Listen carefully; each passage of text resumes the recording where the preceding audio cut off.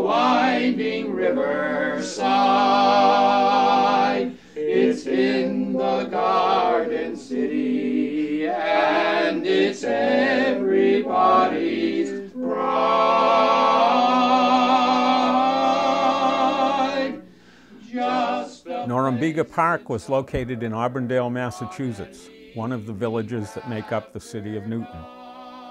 The amusement park was about 12 miles west of downtown Boston on the banks of the Charles River. Norumbega opened in June of 1897 and closed forever on Labor Day 1963. Beginning in the spring of 1930, the park was also the site of the Totem Pole, known to big band and swing music lovers everywhere as America's most beautiful ballroom.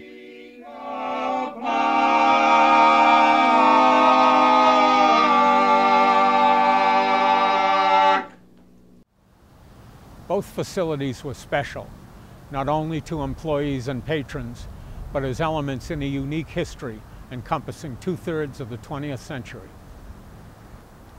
Norumbega's flowers and vines, shaded paths and grass-covered fields contributed to Newton's designation as the Garden City.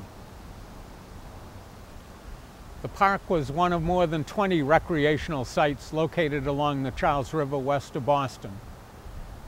Beginning in the late 1800s, the river was a primary recreational resource, not only for the thousands who lived along its banks, but for millions more from throughout the greater Boston area. On summer weekends, they came to the river and to Norumbega via trains and trolleys, canoes, bicycles, horse and carriages, and eventually automobiles. They were looking for fun and excitement, an escape from the cares of the world, and Norumbega never disappointed.